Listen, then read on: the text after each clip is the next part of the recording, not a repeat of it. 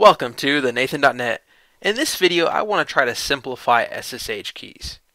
So let's start with a little diagram I have here.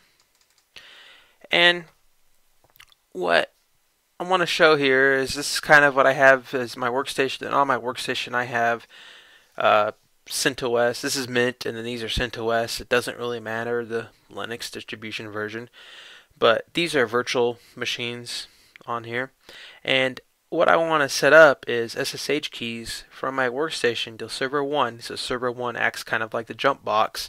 And then SSH separate SSH keys on server 1 to get to server 2 and 3. And I also want to go over SSH agent and how we could set up keys with a password but not have to put them in every time I log it in. And this will allow me to do things in the future with Ansible and have that set up to from this one be my Ansible server to manage these two, or even from this one. So the first thing I kind of want to talk about is what files we'll need.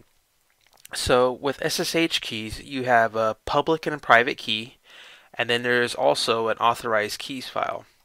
And the authorized key file will be from the workstation. I'll have a public private key, and the public key will be in the authorized key file on server 1, and server 1, because it's going to use separate keys, will have a public private key unique to it, but it will have the public key in server 2 and 3 authorized keys. And in the future, if I want to, I can put multiple public keys and authorized keys so I could log in from here or here. But for now, I'm going to set it up like this. So let's get started. I already have the host set up. With, well, I fake DNS with the host file um, because this is just kind of a local net network. So the first thing I want to do is I want to look at my .ssh directory. And this is important. So you want to make sure that it's owned by the user you are and that it is only readable and writable and executable by your user. If not, SSH is going to complain. The next thing we want to look in here, and this is a Mint one, so it's going to look a little bit different.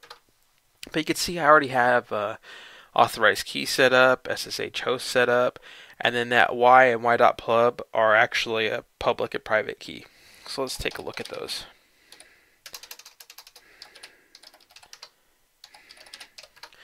So there is my RSA private key. And then there is my public key. And you'll see some stuff in here too. In the public key, they have, oh, it, it automatically does it with the um, user and the host it's coming from. And I use SSH Keygen to set these up. So because I already have keys set up on this workstation, let's uh, log in. Let's test logging into the server. Now, you notice I'm not going to have to pass it any options. I have the Nathan user set up. It's automatic. I'm going to pin that. I could do like at Nathan, but there's no need to. So it's going to ask for my password.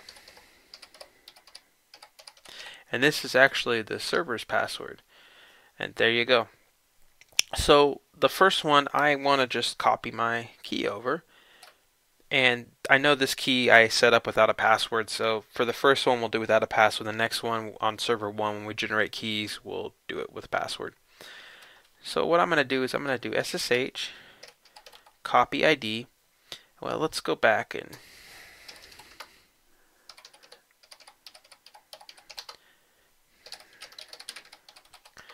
so you can see there's no such file or directory. So .ssh doesn't even exist on that server 1 yet.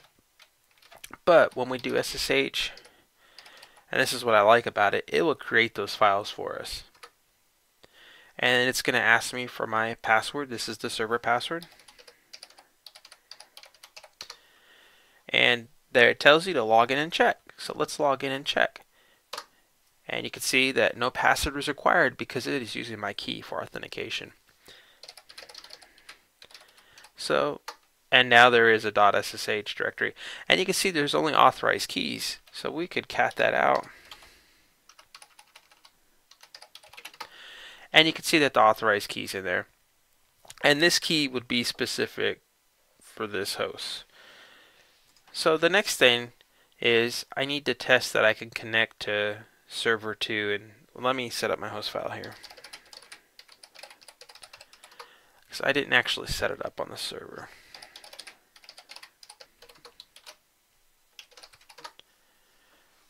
Okay, so now let's test that we can SSH into the server 2. And I've never done this, so what this is doing is this is gonna say, do you trust it? And I'll say yes.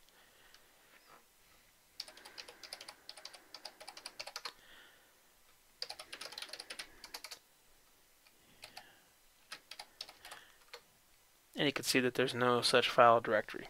So next, let's log in to server 3.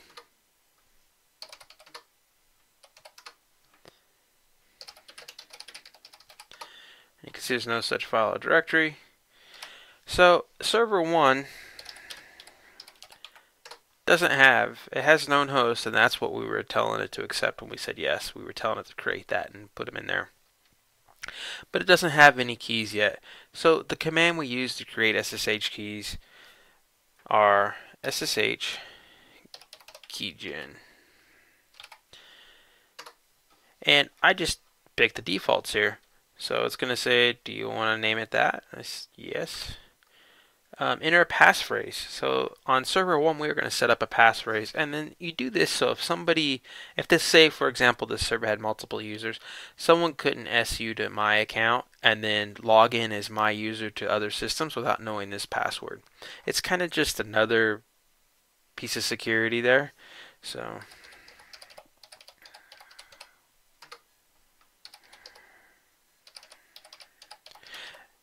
At home, I normally do not set passwords on them, but that is the key. It actually generated really fast. Okay, so now I have an RSA public and private key. So the next thing we need to do is I want to set up SSH agent. And what SSH agent is going to do is when I log in, it's going to create um, and it's going to start the process up and remember my password for that terminal. Now I have to look this up since I don't always remember. I put this in my bash RC.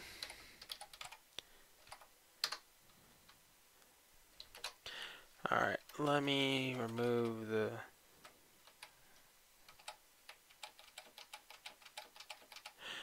Okay, so what this is doing, it's first checking that it is it has a TTY. So things like SCP and SFTP won't run this and give an error because they can't run SSH agent.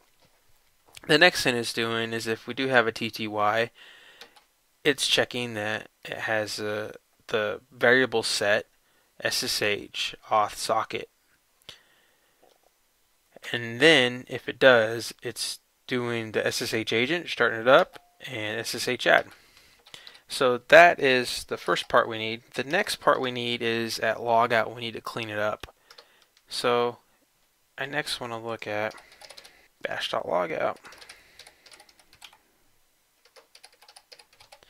And this is something you set up and you kind of forget about. We'll use the eval and then the ssh agent minus k command, which will kill it. And there's some other fancier ones out there. I kind of like this one. If you exit cleanly, it will kill it. If you don't, you're going to have to go through and kill the process. So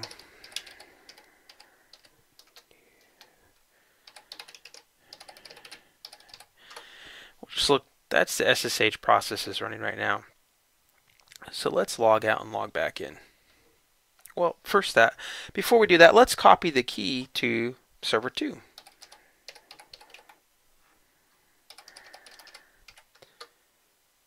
Now it's asking for the server password.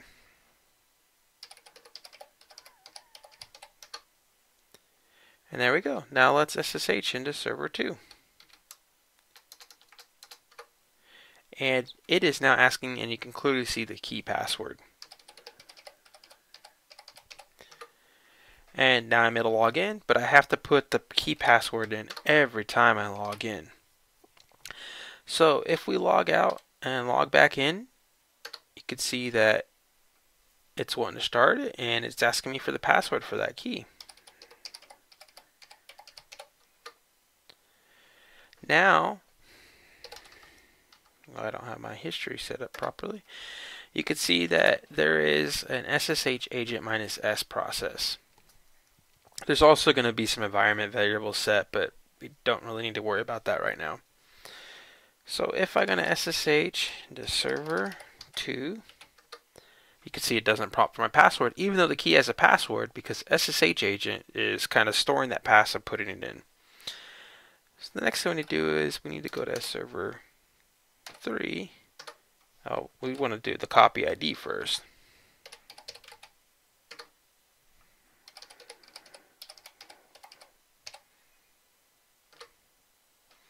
And we can SSH into server 3 now. And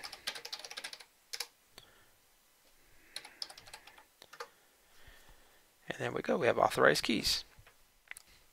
So let's review. On Workstation, we have a public private key with no password, and we're able to log in without using the server password into server 1, or with the OS password. On server 1, we created a public and private key with a password on the key, so we have to put the password in before we can log in using that key. But on that key, we use SSH agent on that server, so it actually will put the password into that key.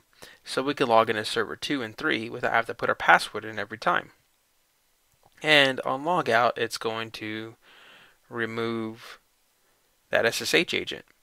And if you log in with multiple shells, let's actually show that.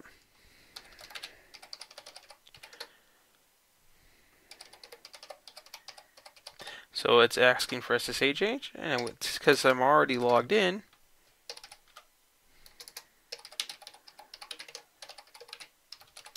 you can see now that there's two SSH agents.